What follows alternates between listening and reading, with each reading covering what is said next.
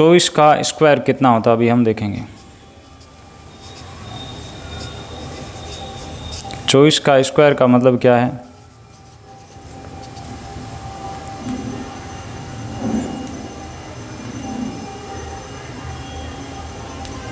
Square का मतलब होता है चौबीस की घात दो। चौबीस की घात दो का मतलब क्या है? चौबीस का दो बार गुणा। तो चौबीस गुणा चौबीस हम कैलकुलेट कर लेते हैं।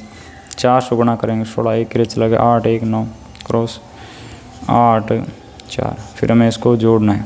क्या आ गया? छः सात फाइव सेवेंटी सिक्स आ गया। ये आपका क्या है? आंसर है। समझे क्या?